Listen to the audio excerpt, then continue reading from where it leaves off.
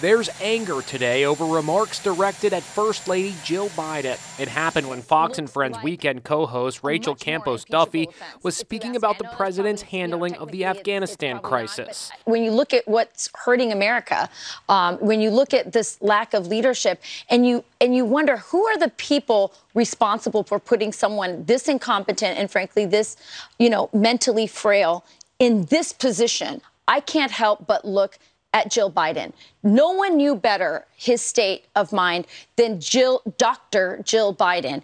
And if you ask me, the most patriotic thing Jill Biden could have done was tell her husband to, to love her husband and not let him run in these in, in this mental state that he's in. I think she failed the country as well. Now, Jill Biden's spokesman is demanding an apology, giving rise to headlines on news sites like the Huffington Post, The Hill, and Deadline. This is disgusting, tweeted Jill's press secretary, Michael LaRosa.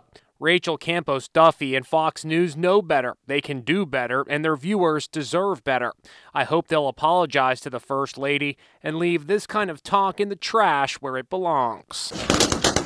The controversy comes as the clock ticks down toward the August 31st deadline for getting Americans and our allies out of Afghanistan. The White House says that deadline remains the target for President Biden so far. He asked the Pentagon and the State Department for contingency plans to adjust the timeline should that become necessary.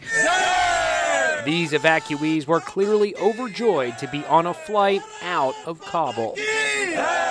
The Taliban has said that if any evacuations happen after the August 31st deadline, there will, quote, be consequences.